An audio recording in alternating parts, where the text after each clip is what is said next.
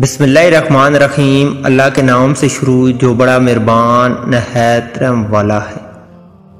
موت کی تمنا۔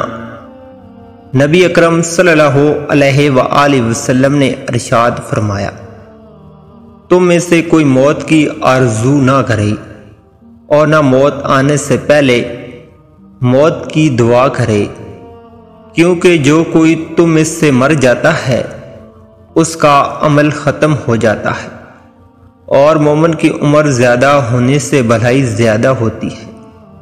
کیونکہ عمر زیادہ ہونے کی وجہ سے نیکیاں بھی زیادہ ہوتی ہیں۔ ویڈیو اچھی لگی ہے تو لائک اور شیئر کریں۔ السلام علیکم۔